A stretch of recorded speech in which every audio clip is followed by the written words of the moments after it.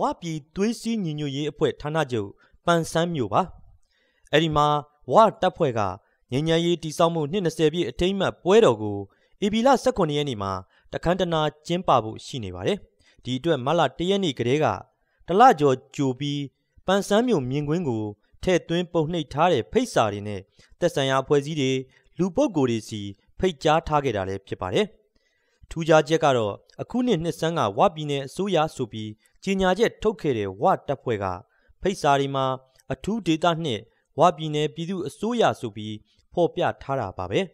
တစ်ချိန်တစ်ခါကတော့ဝလူမျိုးတွေဟာဗရေဒရစ်စနစ်ကြေးကျွန်စနစ်အောက်မှာလူသက်ခေါင်းဖြတ်ရစ်ပူဇော်ခဲ့ကြပြီးခေတ်နောက်ကျနေခဲ့တာပါ1981ခုနှစ်မှာဗမာပြည်ကွန်မြူနစ်ပါတီကအရှိမြောက်ဒေသဌာနချုပ်ဖွင့်ပြီးတဲ့နောက် ဝရရဲ့စိုးဝါတဲ့ဒလီဟောင်းတွေပျောက်ကွယ်ခဲ့ပါတယ်ဗရေဒရစ်စနစ်လည်းကွယ်ပြောက်ခဲ့တာပါ90ခုနှစ်မှာကွန်မြူနစ်ပါတီရဲ့အလံအောက်မှာလွတ်မြောက်သွားပြီးတဲ့နောက်မှာဆိုရင်ဒီတာလင်မြစ်အရှိချမ်းတဲ့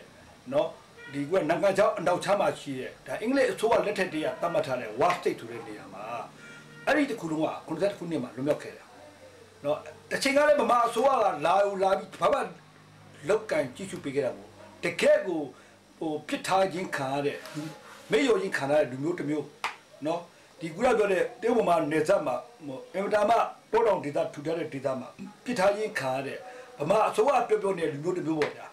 အဲ့ဒီဘဝကနေခုတက်တစ်ခုနှစ်မှာဦးနေပါတီကအလောင်းမှာနော်တစုံတရာအစ်မြင့်တဲ့လူနေတိုင်းဘဝနဲ့နော်ကြည်ကြုံဘုပရိသေဘဝလွတ်မြောက်လာတဲ့ကိုမေးကိုချင်းလို့အုပ်ချုပ်နိုင်တဲ့နော်ဝအမျိုးသားတွေဝမြို့နယ်ကေတာတွေဝခရိုင်ကေတာတွေဝတိုင်းကေတာတွေကအုပ်ချုပ်တဲ့ ဦးနေပါတီအလားအောက်ကဒေသကြီးတစ်ခုဖြစ်လာခဲ့တယ်ဝရီရဲ့အတိတ်သမိုင်းဝမျိုးသားတွေရဲ့ဝပြည်နယ်ထူထောင်လူမှုဝရီရဲ့စစ်အင်အားစတာဒီကတော့တစတစကြီးမားလာနေတာပါခင်ဗျာ81ကနေပြီးတော့89နှစ်အတွင်းမှာနော်ကိုဒေတာကိုလုံခြုံရေးတဲ့နော်ခုခံကာဝယ်ဗမာအစိုးရစစ်တပ်တွေကွန်မြူနစ်စစ်တပ်တွေကိုတိုက်ခိုက်မောင်းထုတ်ပြီးတဲ့နောက်တိုက်ခိုက်မောင်းထုတ်ပြီးတဲ့အပြင်မှာ ဗမာပြည်သူများကိုစာနာထောက်ထားစွာနဲ့ဗမာပြည်သူများရဲ့အရေးတော်ပုံဝင်ရောက်တိုက်ခိုက်ပေးခဲ့တာအစစ်ဆိုရတယ်89နောက်မှာဝါမြို့သားပြည်သူ့ညီပါတီနဲ့ဝါမြို့သားခေါင်းဆောင်တွေကဒီဒေသကြီးကိုနော်ပုံမတိုးတက်တဲ့နော်မြို့ပြလက္ခဏာပုံမဆောင်လာတဲ့နော်အဲ့လိုဒေသကြီးဖြစ်အောင်ဝါအမျိုးသားတွေကိုတွေးကြည့်ညွှန်လာအောင်ဝါအမျိုးသားစိတ်ဓာတ်ပေါ်လာအောင်နော်ဝါပြည်ကိုပြည်သူတွေချစ်မြတ်နိုးလာအောင်သူတို့လှုပ်ဆောင်ခဲ့တာ အဲ့တော့ဒီပေါင်း39နှစ်40နီးပါးပေါ့နော်ကိုမင်းကိုချင်းသဘောဆောင်တဲ့နော်တရုတ်ဗမာဒေသမှာတည်ငြိမ်ပြီးကြန့်ခိုင်တဲ့ဒေသကြီးတစ်ခုအဖြစ်နှစ်ပေါင်း30ကျော်40နီးပါးရည်တည်နေခဲ့တယ်အဲ့ဒီနေ့ဝါကောင်းများတဲ့လူလားချက်ကလည်းဒီဒေသကြီးကိုတစ်သက်ပုံပုံမြင်မာတဲ့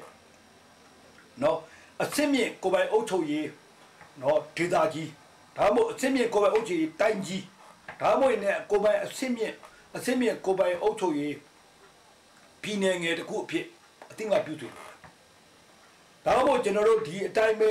သူတို့တောင်းဆိုနေတယ်ဆိုတာကျွန်တော်တို့သဘောပေါက်